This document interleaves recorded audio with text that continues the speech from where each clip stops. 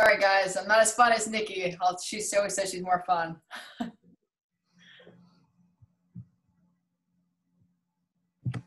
Go ahead, Sam.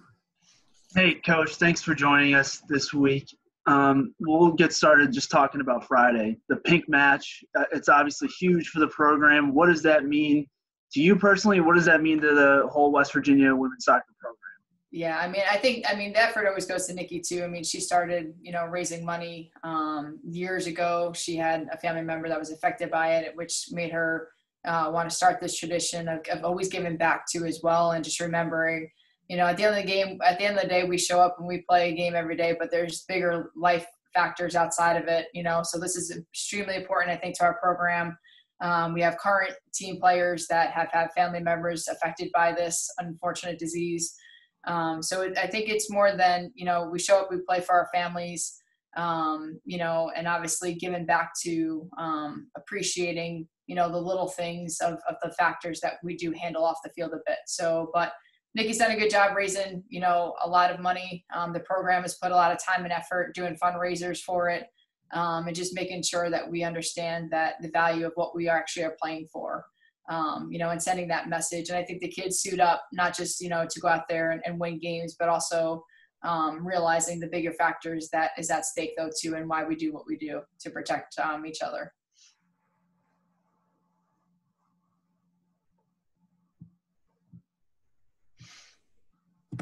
Kevin Kinder, go ahead.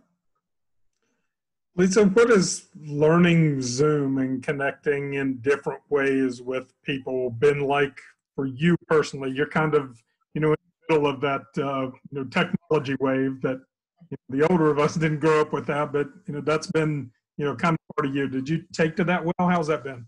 You know what? I actually think that COVID, I, I, always find the positive side of things and, and finding the time to do these things with our players actually, I think, help build relationships even further. Um, you know, kind of with, some recruiting coming to a halt, which I do spend a lot of time. Sometimes I don't get the time that I've been able to spend with our kids now.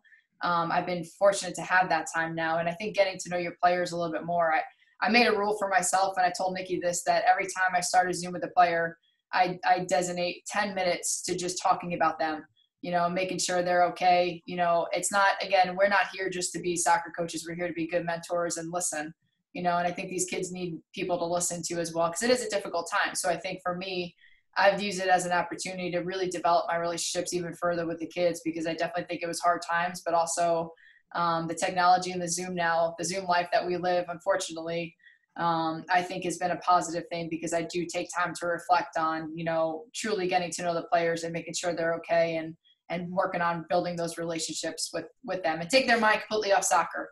You know, until and it's most of it is business with soccer, but I always make sure we we take that time to talk about, you know, just life and and making sure they're okay with their schoolwork and as they've adjusted to a different lifestyle. Go ahead, Sam. So, Coach, you guys are facing Kansas this weekend, another ranked team. Um, their matches, they're, they seem to be very close. Every single one, uh, win, I should say, has been oh, yeah. one 0 yes. What's tough? What's tough about getting the ball past their defensive back? Ooh, well, you hit it. That that is the goal, you know. So that that's the biggest thing. I mean, obviously they play a different type of system. Um, they're very well coached. Um, they're very well organized. They play a five back system, you know, so it's understanding how to break that down, you know, and as you, you mentioned, everything's been tight. They're not giving up a lot of goals. I think they might be third right now in the Big 12, I think in shutouts. Um, you know, so they're not, they're not allowing teams to see the net, you know, so that that's, that's something to their credit that we've been training this week, um, knowing going into their defensive mind scheme, schemes that they have.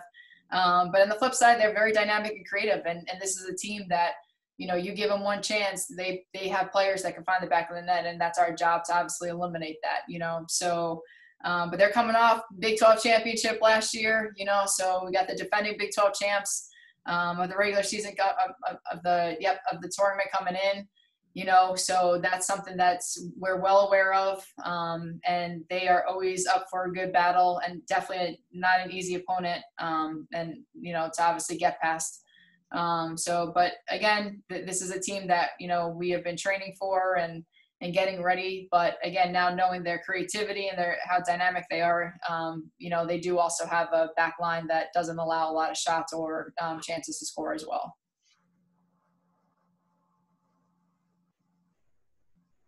Any other questions for Coach? I see you, Sam. Go ahead. Coach, so as an as a former attacking midfielder yourself, you've obviously been coaching over Stephanie this season, and she's been amazing. You know, leading the team in scores and assists, leading the conference, I should say. Mm. Um, is there anything you imparted personally to her, or what? What has I impressed? won't, I won't give away everything. I won't. You never know who's listening. I won't give away everything. But I, I do. One thing I'll say about Steffi is she's all in, and you know, um, we we spent you know our last question in Zoom. We spent a lot of time taking advantage of watching film um, this summer. You know, because we were allowed to, and I think that actually opened up you know being able to study the game a little bit more than what sometimes we're normally allowed to on a normal week and season. Um, so I think studying the game and understanding, you know, what she's capable of doing, you know, and, and, and allowing her and giving her the support of, of obviously seeing the game at a different perspective sometimes too. But she's all in. Um, there's a couple of things that we tweaked, I think. And, and the one thing I'll always say, we, we tease her because we always say she's not listening, but she listens. You know, she listens when she's being coached and she listens in meetings. And after every Zoom, I always ask her questions and she knows those answers. So she's definitely listening. She's tuned in. Um, I think also being a senior, she's been through it. She's the most experienced out there. Um, and there's no stopping her right now. But we're every day though, I'm, I'm, I'm pushing her to make sure that she's still training the things that she needs to get better at, but also the reasons why she's got to keep doing what she is doing. Kevin, we'll go back to you.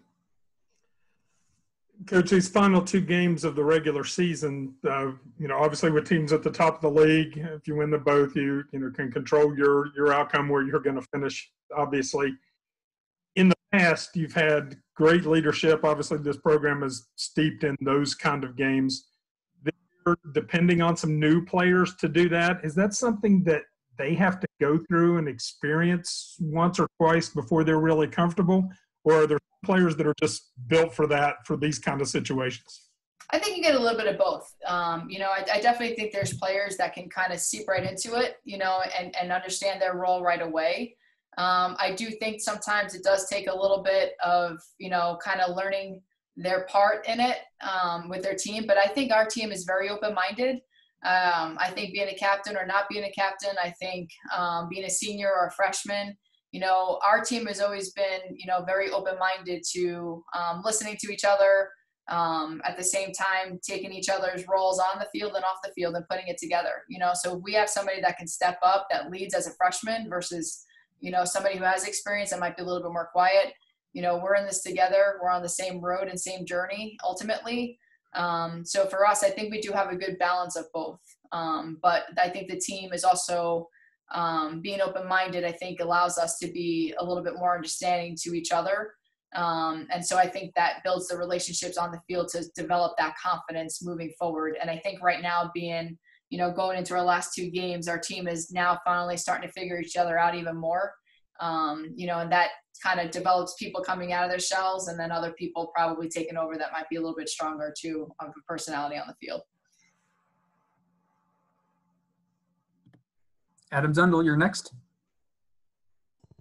Thanks. How important was it to get the uh, the shutout, having played de- well defensively um, for a while, but not getting that that that clean sheet uh, for, since since the first while? Just about the team's mindset, how they feel about that. Coach love that, right? I mean, I, I think we've been stressing that all along, you know, and for us, you know, we've come to games where sometimes it was just that one little minor factor that, you know, maybe cost us a goal. And every day we train that and remember that and try to eliminate those same mistakes. Um, I think mentally, mentally and emotionally, I think that's, you know, the kids now know finishing a 90 minute game and what that takes. You know, sometimes it's, you know, you could be up by two, sometimes a two nothing lead could be the worst lead in soccer you know? So it just takes sometimes one of that other just one goal for that momentum to kick back up. But no matter what it is i think finishing a, a 90 minute intense hard physical soccer game is something that they needed to just kind of get a little taste for um, and now obviously gaining that experience getting it later into our season hopefully we can keep that same mentality and emotion going into the next game Any final questions for Coach?